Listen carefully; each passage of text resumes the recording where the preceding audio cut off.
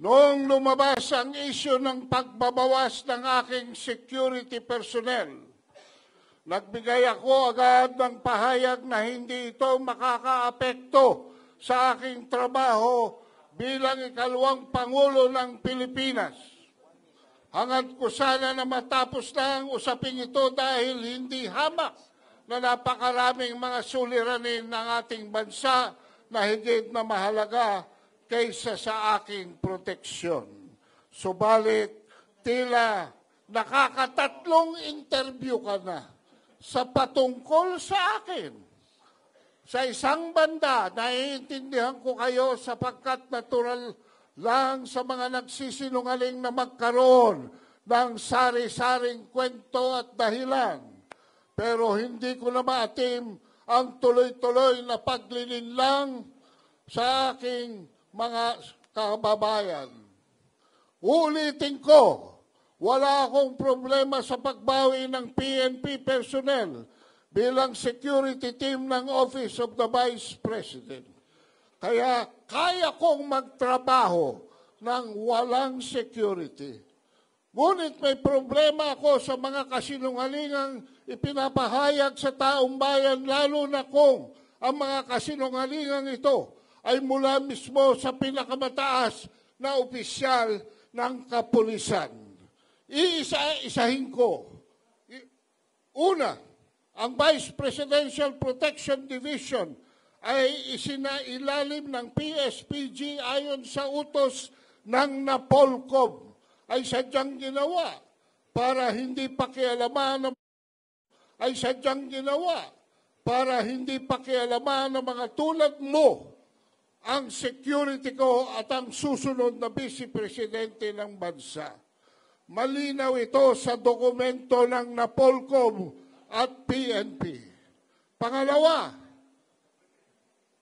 sinabi mo, local police also augment Duterte security every time she visits the provinces.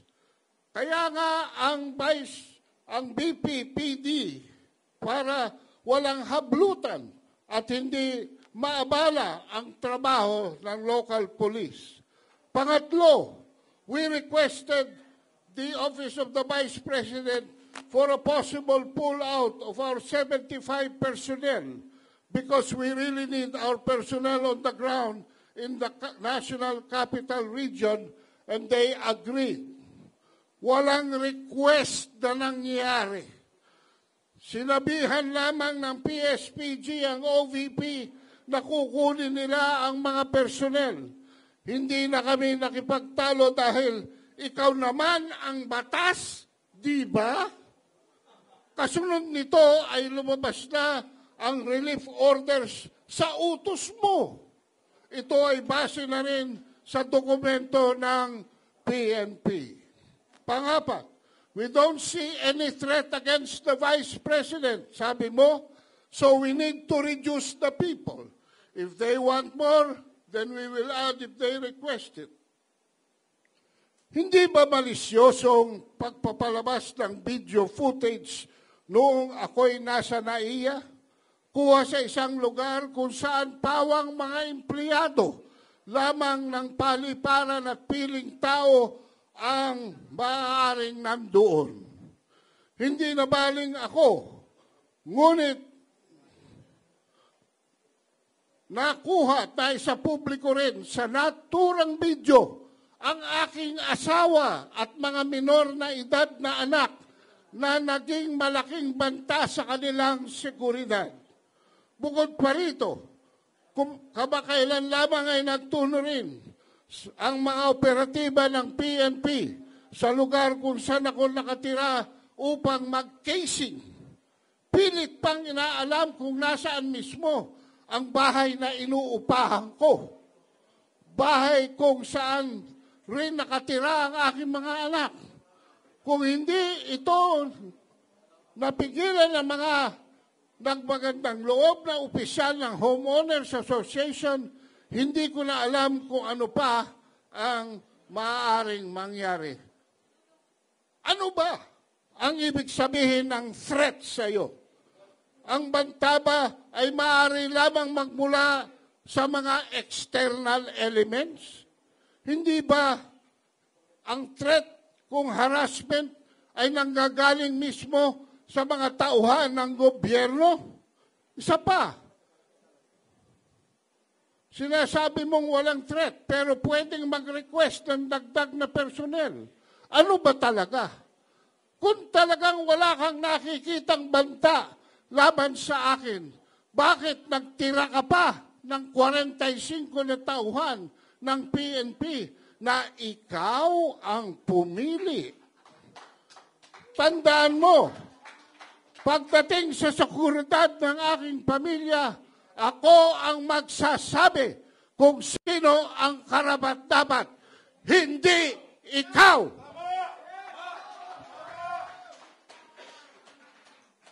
Mambabatas ka lang, hindi ka Diyos. Panlima, the relief was for police visibility.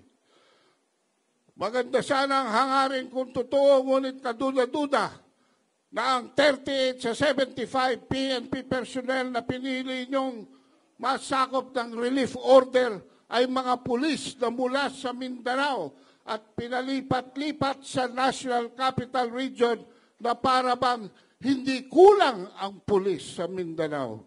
Simula na maging mayor ako noong 2010, nandiyan na ang isyu ng kakulangan ng pulis. Hindi mo mahahabol ang pulis to the population ratio sa pagkuha ng security ko. Ang kailangan ng PNP ay isang chief na makabago mag-isip at gagamit na makabagong teknolohiya drones, innovation at iba pa upang mabigyan solusyon ng issue ng peace and order. Kung kaya ninyong ilag, kung kaya ninyong ilagay sa alanganin ng aking seguridad, nag-aalala ko sa uri ng harassment na kaya ninyong gawin sa karaniwang mamamayan. Tulad na lang ng tulad na lamang ng intimidasyon sa mga ordinaryong mamamayan para sa service ng warrant of arrest para kay Pastor Kibuloy sa Davao City, kamakailan. Ang relief ng mga PNP personal ay dumating pagkatapos ko mag-resign sa DepEd. Pagkatapos kong ihambing ang SONA sa isang catastrophic event at pagkatapos lumabas ang cocaine video. Let us spare our people from all the lies. Let us call it what it is, a clear case of political harassment.